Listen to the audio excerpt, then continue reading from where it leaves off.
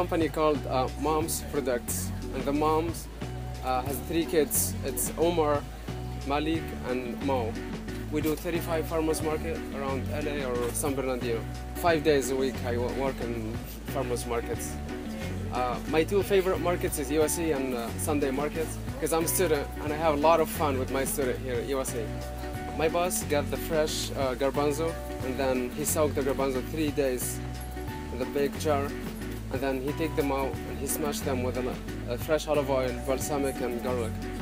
And then we do have like 18 flavors hummus. So it depends of the flavor that we make. They put like garlic hummus, they put kalamata, olives and chives hummus, and for sure they put the machine and we prepare the hummus, the fresh ones.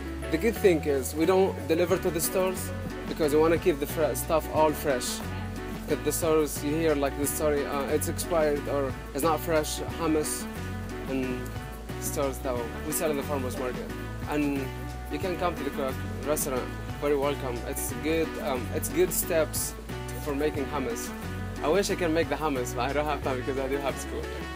Hi. I don't. Yes, please. Sure. You wanna pick one more and make it ten?